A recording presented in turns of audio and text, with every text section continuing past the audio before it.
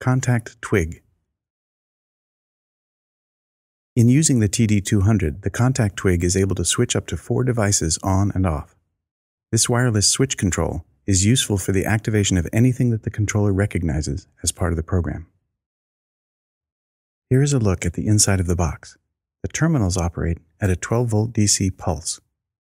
Not all of the device's power is completely provided by the contacts. Rather, the contacts provide a circuit from the device to its power source. The maximum current for each contact is 1 amp. This drawing shows how the contact twig works.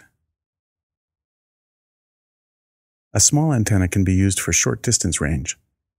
A large antenna can be used for distances greater than 100 feet.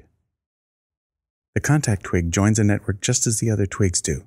For guidance on how to join a network, see the video titled Creating a Twig Network, or follow the steps shown on the quick reference card.